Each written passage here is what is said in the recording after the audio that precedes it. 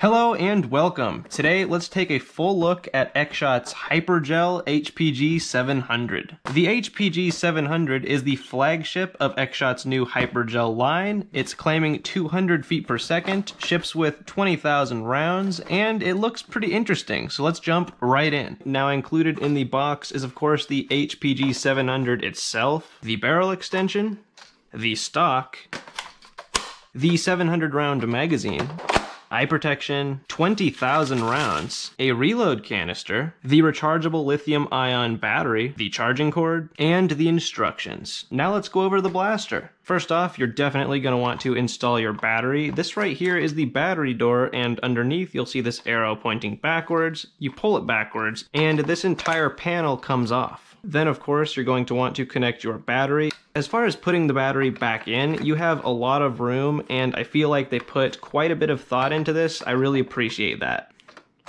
Up on the top of the blaster, we do have a Picatinny style rail, and on it we have the included front sight piece, but the rear piece is actually built into the blaster. We also have three more Picatinny style rails, one on the right, the left, and the bottom. Now if you look right here, we actually have this switch, and the really interesting thing about this is it's going to regulate your power, which is super cool, and we'll definitely check that over the chronograph. Now looking at the left side of the blaster, we have our firing switch. Now in the most forward position, you are safe. In the next back position or the middle position, that is semi-automatic. Then in the completely rear position, you are in full auto. Now looking at this stock, it is quite comfortable, though it is not adjustable. And while yes, it is a removable stock, it is using a completely proprietary system. So this is going to be your only option for a stock. As far as the barrel, it really is just there for cosmetics. You have a couple different styles that you can use depending on your preference. Now right in front of the trigger we have this big orange thing, that is actually your magazine release. The included magazine holds 700 rounds, and similarly to a lot of these other gel blasters, you have this slide right here that you pull out, and you can load it very simply. As far as the ergonomics, I really like them. Even though the stock is not adjustable, it's still a very comfortable blaster. And like a lot of these recent Xshot blasters, I do absolutely love this paint scheme. Very intricate, excellent color separation, phenomenal stuff. As far as the build quality, we know Xshot, so typically we would expect much lower quality plastic, but honestly, overall, as far as their blasters go, this one feels like one of the most high quality ones they have made. Like when I'm holding the grip and shouldering the blaster, it feels very sturdy. The only thing I really do have a problem with is this battery tray up here. Most of the time, you're gonna wanna use this as a foregrip, but it is quite wobbly, like significantly. While I really like the ease of taking this off to get to the battery, it definitely hinders the quality of just how sturdy it feels. But again, besides this right here, I am actually pretty impressed with the overall quality for an Xshot blaster. Now let's take this thing outside, put it over the chronograph, and test these different power levels. So we will be firing the included X-Shot gel rounds, and as far as the power regulation goes, in the most forward position, that is actually your weakest mode. Then if you move to the middle, that's going to be a little bit more powerful, and then all the way to the back is going to be your highest power level. So we are going to get a six shot average in each power level, starting out with the weakest level.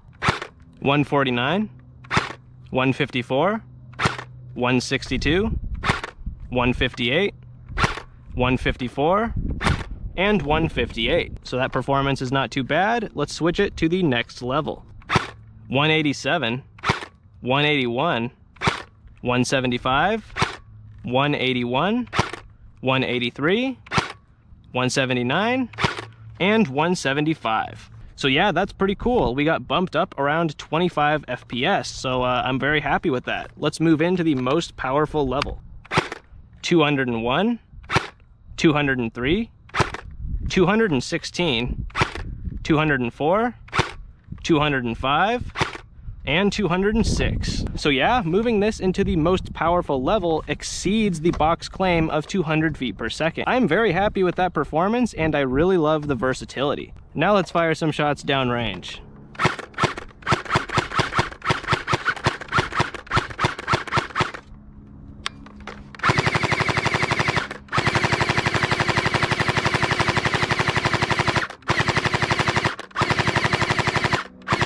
Very impressive. In the semi-automatic mode, we are incredibly responsive.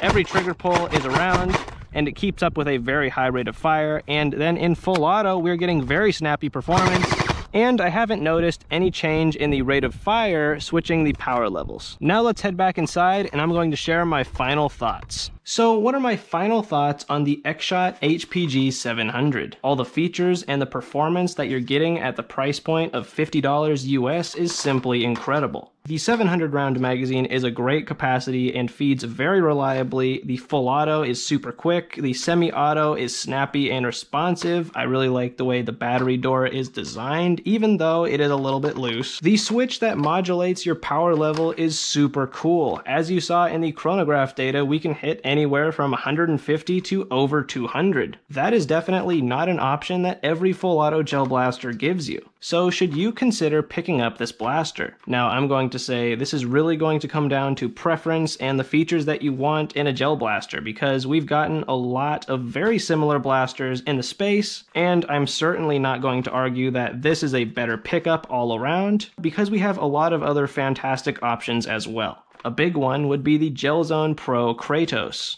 It is only 20 more dollars than this blaster and has a significantly higher plastic quality, still a very high rate of fire, higher performance, and you also get glow in the dark rounds with that blaster. So the Kratos is still very compelling and in most situations I would recommend that over this blaster. Simply because of the higher plastic quality, FPS, and the fact that you're getting the glow in the dark capability.